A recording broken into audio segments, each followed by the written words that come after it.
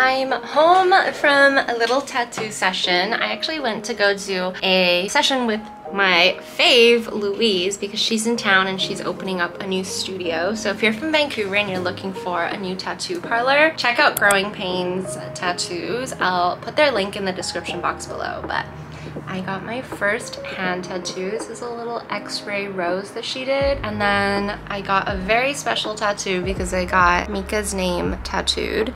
I've been meaning and thinking about what to fill the space um, under my mandala or like my half mandala with. And honestly, I can't think of anything more special to me than Mika. So I got her name tattooed, little rose. And then I also got a little tattoo on this hand as well. It just says divine, which I thought was fitting because I think I'm divine, but also just because my name is Angel, so it's kind of this like holy messaging, but that is my little tattoo adventure for today. I'm really, really excited actually because I received this very special package from KBD Craft.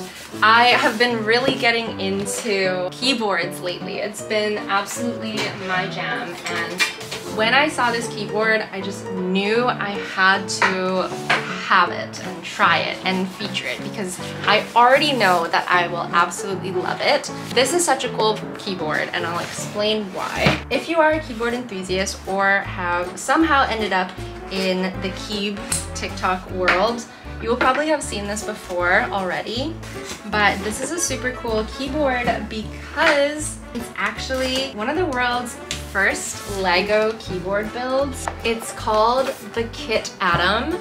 This is what the box looks like. It's the world's first brick-built keyboard platform. It's a gasket mount, 64 key layout, hot swappable, RGB backlit, and 100% Lego compatible, which means that after I build this cutie, I will be able to customize it with genuine Lego pieces, which is so, so cool. I ordered some dinner because I couldn't be bothered to cook tonight, so I think this is what I am going to work on. So let's build a keyboard together. So let's take a look at what's inside the box. We have, this is so cute and I'm super excited about this, but it's like a little um, Lego guy that comes with the keyboard and these are the two that I got. We have of course, the keycaps themselves. More keycaps. These are their special switches that they made. They're the S-Squared engine. They're linear, which are absolutely my favorite types of key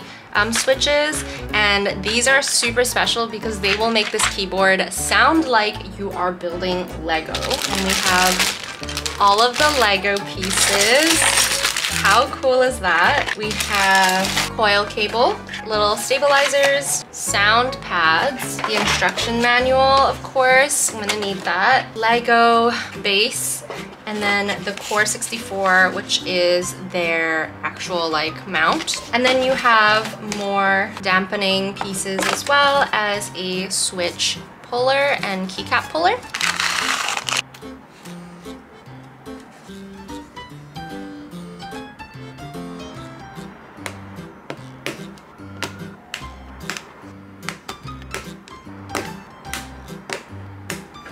Taking a short intermission. I'm just having some sushi, which is my dinner for tonight. Got some soy sauce. I usually don't have soy sauce with like complicated sushis like this, but I tried this new sushi which has salmon skin in it, and it's not my fave, so soy sauce will have to save the day.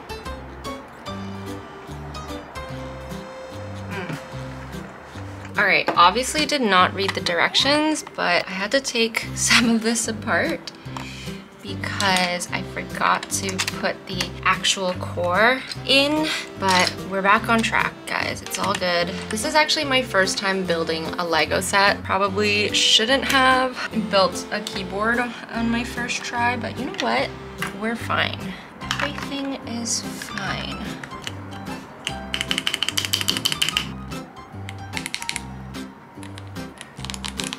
Okay, I'll do a proper video tomorrow when it's nice and bright out, but this is what the keyboard sounds like. Just a quick sneak peek. It's literally dark out, this took longer than I thought it would, so we're gonna come back tomorrow and actually test out the keyboard, but yeah, that's my new keyboard. I love it. It's so fun. All right, let's do a little sound test of the keyboard. Here she is in all her glory. I put together the two little characters as well, and I think they may be my favorite part about this keyboard. Here's my little skeleton as well, and they fit right on this like piece right here. So it's super cute.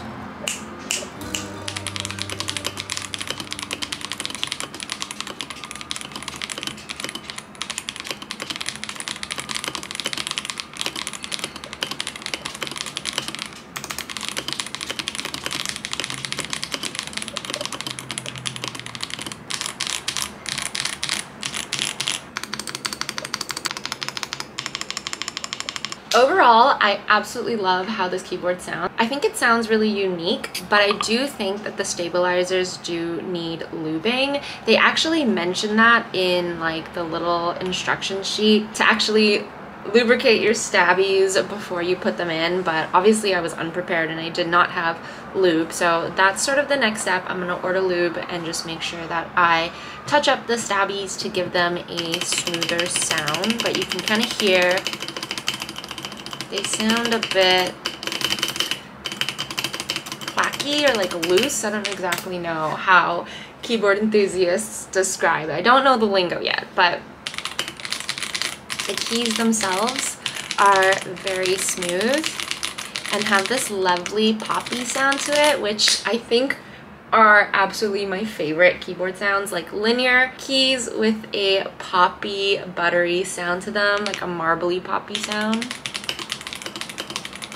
this is exactly that. The aesthetic is also stunning and I just love it. I think it's such a cute keyboard and especially for the price, like it's so awesome. You can also fully customize it with Lego pieces if you want. I'm gonna make sure to link it in the description box below if you guys want to check it out. But yeah, getting way, way too into this whole keyboard world and I'm so for it. Thought I would make some lunch now. I found this delicious looking udon recipe on Instagram. It's like a spicy miso udon and I think that is what I'm gonna make.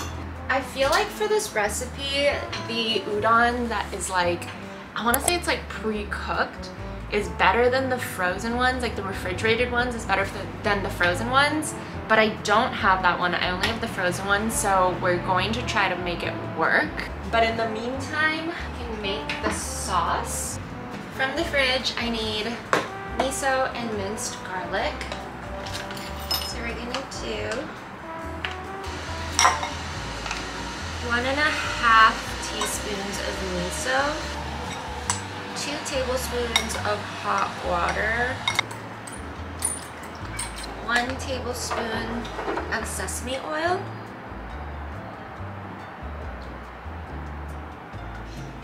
tablespoons of soy sauce, a splash of dark soy, three teaspoons of sugar, garlic, freshly grated ginger, Give it a good mix. Smells really good. Here is the noodle. It smells insane. I didn't end up putting all the sauce because I felt like it didn't need it, but let's give this a try. So excited to try this.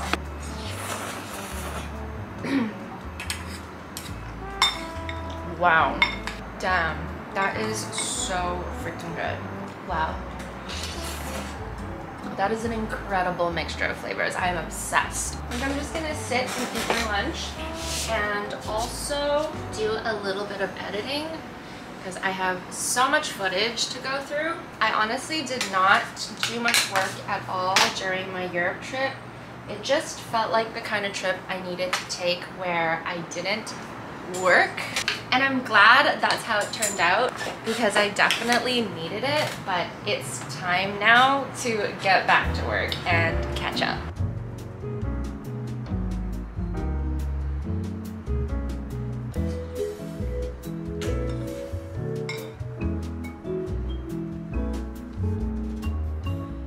Okie dokie!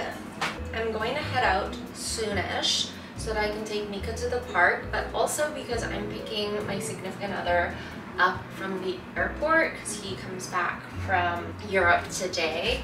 Um, he ended up taking a later flight than I because flight prices went up and he didn't book in time. But anywho, I'm glad he's coming back. Also, I took the Saniderm off two of my tattoos. I left it on this one for now just because I have my watch on and I need to shoot content. So I didn't want it to get in the way, but I've honestly been putting off the hand tattoos for so long, even though I've wanted them for a really long time, but it's a really daunting thought because if you look at the rest of my tattoos, like I have tattoos on my torso and my legs and my arms, but if I just wear a long sleeve and long pants, suddenly it looks like I have no tattoos. And it's not even that I'm ashamed of my tattoos or anything like that, but there's just certain situations where it feels, I feel more comfortable having my tattoos hidden. So for example, when I'm seeing my grandma, it's not necessarily that I want to lie to her, it's just that it's not something that she really accepts, so it almost is better just to keep it out of her face as a sign of respect. Chinese culture can be very, very restricting, limiting, and traditional. I'm actually going to get dressed now, so I thought I would just do it with you guys. Not going to bother putting a bra on, just not feeling it today, you know? This is what the dress looks like. I think it's so cute, and I love this crinkly fabric.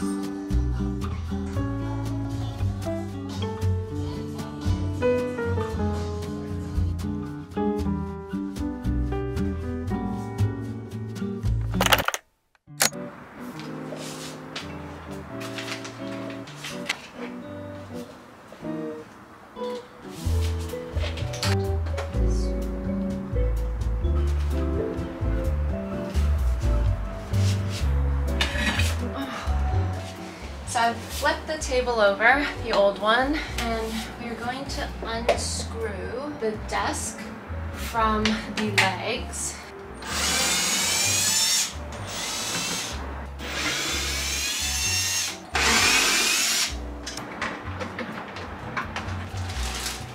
This space is so nice without the desk, honestly, but we're putting another one in.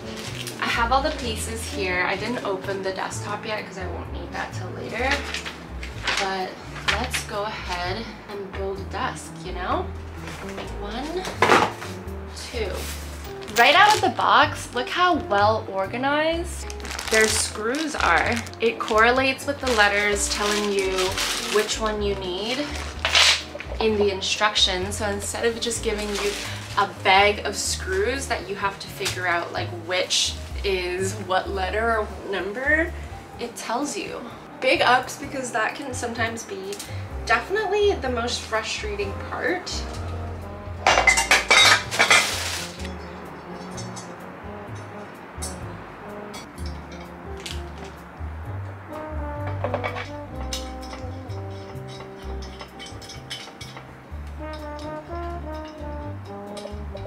I really feel like I'm making such good leeway. It's nuts, but we're already on the part where I'm installing the feet. Like how crazy is that? Another amazing thing that they've done is with the organization, not only did they put it, like split the screws into the right letters, it's also step by step. So at first you only use A, then you only use B, then you only use C. Instead of other companies who will be like, okay, use 2A in step one, but then like you use the rest of the A's in step five. The way that they've done it just makes it literally foolproof. We have the desktop. So, so excited to have a change. We're back at the part where we need to use a proper screwdriver.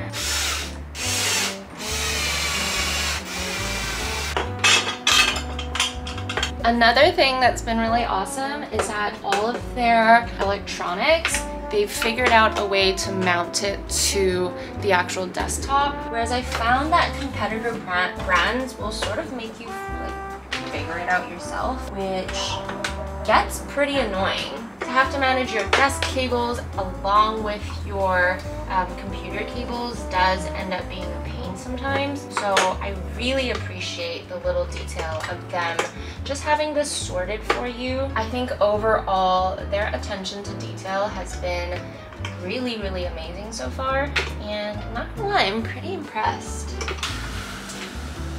It looks so good.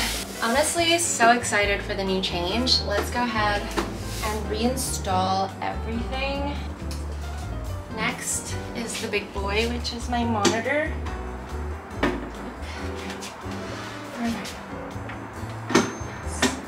All right.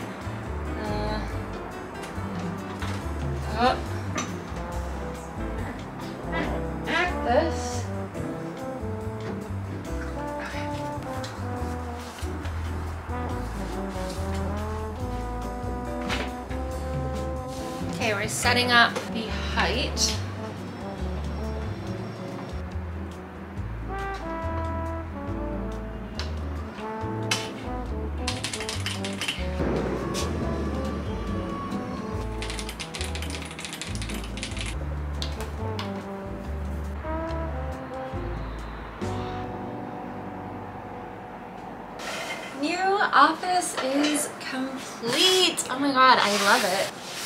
It. Feels very different, I'm not going to lie. And I think I'm actually not done yet because I want to mount my little adapter dock down underneath, probably on the left side here so that I have even less stuff on the desk.